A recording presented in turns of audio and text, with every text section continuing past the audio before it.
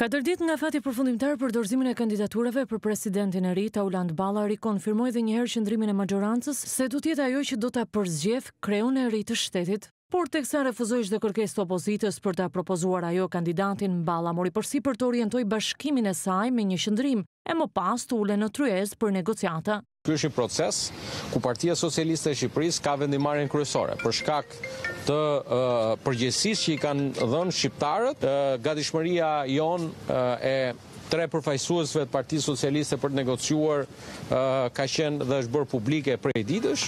Unë besoj që mirëpres një përgjigje nga ana e tre kryetarëve të grupeve parlamentare, me të cilët Ne jemi të gatshëm të negociojmë. Besoj që thirrjes time që sapo e bëra tashmë dhe publike, zonja Doda, po i pari zoti Alibeaj si grupi më i madh, zonja Doda dhe zoti Mediu, besoj që në orët apo në ditët vijim të kemi një përgjigje pozitive, pastaj nëse nëse secila palë do vijë veç e veç, ne jemi të gatshëm të ulemi me të gjithë. Pasi propozuan emrin e presidentit në zarf, Balla tha se socialistët duan një proces shembullor për zgjedhjen e kreut të shtetit. Pesëmbëdhjetë maj, ora gjashtëmbëdhjetë shënon afatin e fundit që kanë grupet parlamentare për të paraqitur kandidaturat për presidentin e Republikës.